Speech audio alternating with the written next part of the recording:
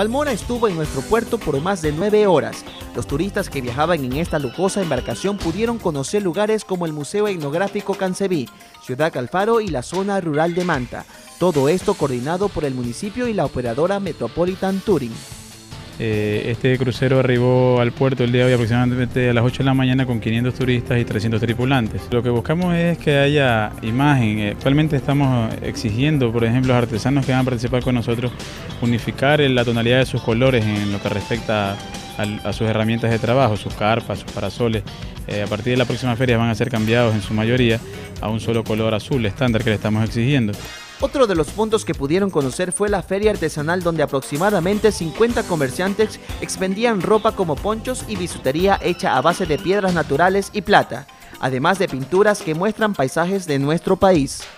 Venimos uh, de la sierra, de lo que es provincia de Cotopaxi. Este trabajo viene elaborado por nuestras manos eh, de comunidad de Tiwa, es de pueblos indígenas de Quichua, de Tiwa. Venimos a eh, ofrecer a los turistas, indicar de lo que es campo, de lo que como es campo eh, del Ecuador, campo indígena, cómo se vive. Cada cuadro está demorando mm, unos dos días un cuadro de esto. Un cuadro de esto no es tan fácil coger y pintar, vale unos 30-35 dólares.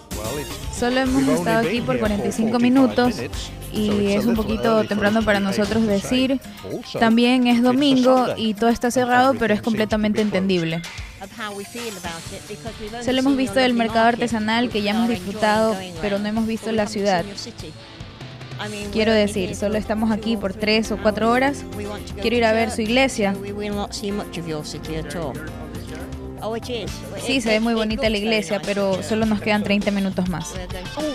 Lo que estamos diciendo es que nos encantan las artesanías, pero como les decía, esto es todo lo que hemos visto hasta ahora, pero estamos muy impresionados.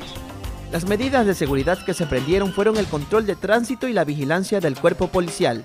Se espera el arribo de otros cruceros a lo largo del año. El próximo está previsto para el mes de febrero. Alex Bailón, ahora sí manta.